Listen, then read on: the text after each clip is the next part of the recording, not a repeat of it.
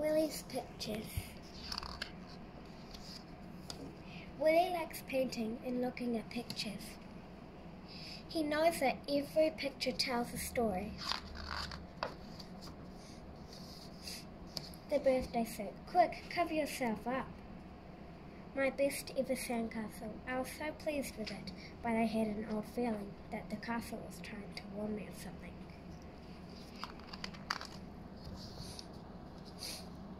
Lots and lots and lots of dots. We gradually started to notice some very strange things in the park. The kind woman. I had been getting a bit bored with painting all that grass. Early morning dream. I'm just taking my dog for a walk. My birthday. At first I thought it was great fun, but would they ever stop? At the swimming pool. Oh no, it's the wrong changing room. Coming to life. I was just finishing this painting when I heard a small voice say, Give us a hand.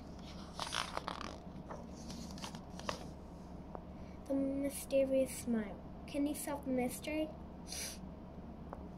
The fruitful fishing trip. We hadn't caught anything all day and were on our way home when we cast our net for the last time.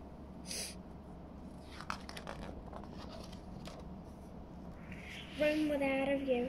I had always hated looking out of that window, so one morning I decided to do something about it. My nightmare. The dreadful invitation read, "You are cordially invited to attending to attend the wedding ceremony of Millie and Buster Nose."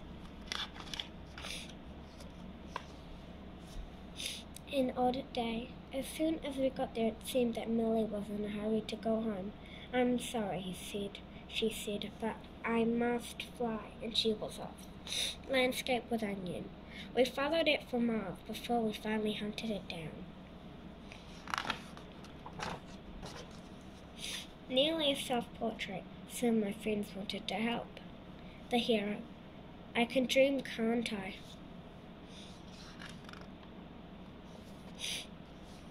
Now open the fold-out pages to see the pictures that inspired Willy. Those pictures tell stories too. Try matching them with Willy's pictures and read what Willy says about them.